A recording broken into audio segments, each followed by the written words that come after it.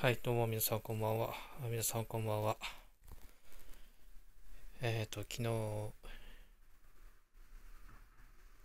えー、べて、えー、終わりました。えー、昨日ですね、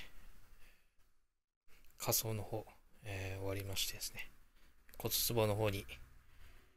えー、お父さんの骨の方をですね、え、入れてまいりました。えー、今、ここはですね、私のお父さんがいつも寝ていた、えー、ベッドですね。えー、ちょうど横の方に、えー、私の、うん、亡き父の、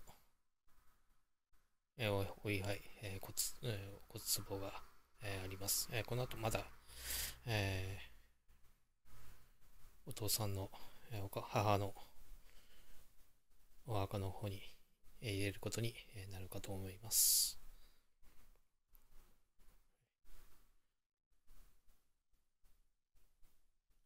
うん。これ見るとね、もうお父さんいなくなっちゃったんだなっていうのが、えー、感じます。うん、寂しいけど、でも今にもね、お父さんのあの声がやっぱわかるんですよね。聞こえてくるような気もするし。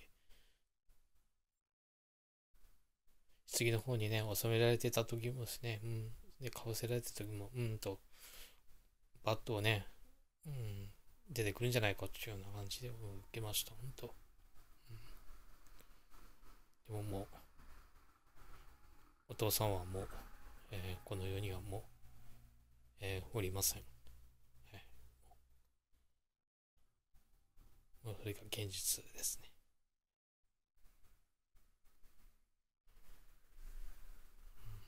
寂しいけど、うん、これが現実をね、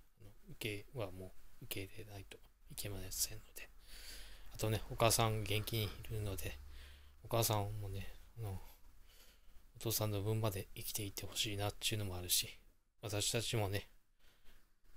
しっかりとね、あの生きていきたいというふうに思います。まあ、そんなわけですね。明日から私はもう仕事に、仕事の方に復帰はいたしますが、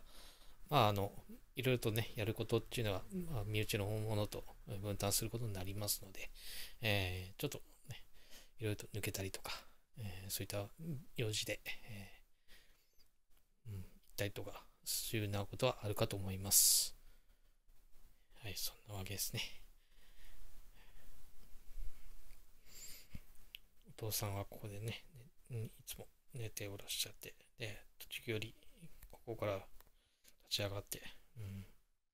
自分でね、いろんなこともやってたし、お母さんのね、えー、一緒にいた時ね、お母さんの方を、ね、気気遣ったり、えー、してらっしゃいました。まあそんなお父さんもね、やっぱり、えー、若い頃にちょっと無理をして、いろいろ病気を持ってたんですけども、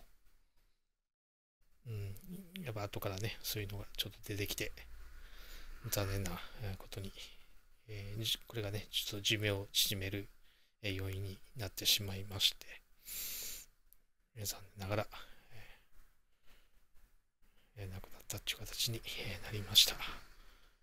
まあ、健康の方もね、気をつけないと、まあ、いけなくなりますし、まあ、えー、なんとも言うようですけどもね、えー、皆さん方のね、お父さんお母さん、まだ元気であればね、ほんのちょっとで何でもいいです。えー、親孝行してあげていただきたいなというふうに思います。はい、えー、そんなわけですね。えー、明日から、え、お仕事を復帰させていただきますということで、え、お知らせの方をいたしました。